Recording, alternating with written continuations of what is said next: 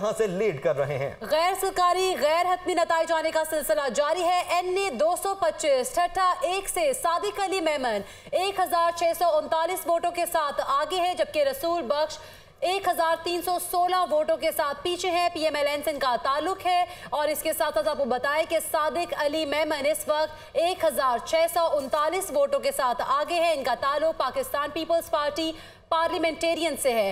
N A दो सौ पच्चीस का ये रिज़ल्ट है जो कि आपके साथ शेयर किया जा रहा है। 11 पोलिंग स्टेशन का रिज़ल्ट है, जिसमें सादिक अली मेमन एक हज़ार छः सौ उनतालीस वोटों के साथ लीड पर हैं।